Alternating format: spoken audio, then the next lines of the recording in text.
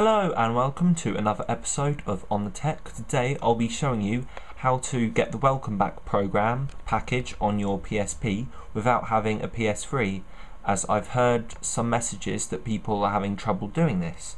So what you do is, um, by, by the way this is the, the tutorial to do it on the UK or the EU website but I'm pretty sure that other websites such as the US and Jap Japanese um, they'll all have similar PlayStation websites. So you go into a search engine on your internet browser and type in PlayStation or PlayStation Store or something that will lead you to the PlayStation's website, official web website. And then you wait for it to load. And in the corner there, you click on sign in. And then this will pop up now you're going to want to enter your so-called old password and email as after it's after the PlayStation Network has been hacked, they've all been they're not accepting them anymore and you have to change it in case the hackers use your go onto your account again. So you use your old one or what you would normally use before the hack and then you click sign in.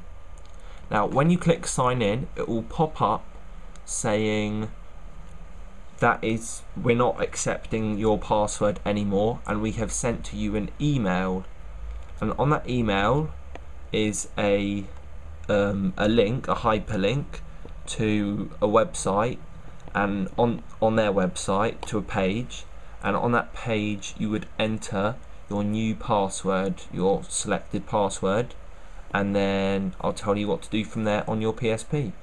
So once you've turned your PSP on, you go to the PlayStation Store. Just to warn you, you may have to do an update if you haven't done one recently, as since the PlayStation Store has been hacked, I know it was a, a while ago supposedly, but you there have been a couple of updates since then if you're a person that doesn't like updates or a hacker or something. So you click on PlayStation Store. Sorry, I just need to cover up my real email. Okay, so then you type in your email and your new password, which you've selected, and you sign in. And it may take a bit longer than normal, but you should successfully be in.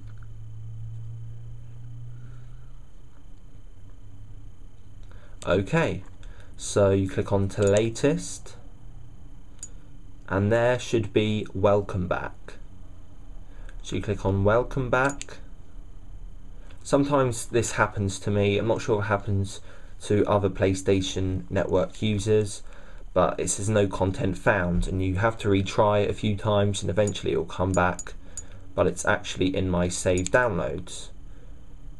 So anyway, you normally there will be four games I think there are, and you choose two out of them, and then you download them, and then you click download as normal, as if you paid for it, but obviously you haven't, as it's free. And there we go. I'm downloading for free ModNation Racers as part of the PlayStation Network's Welcome Back program. So, thank you, PlayStation Network.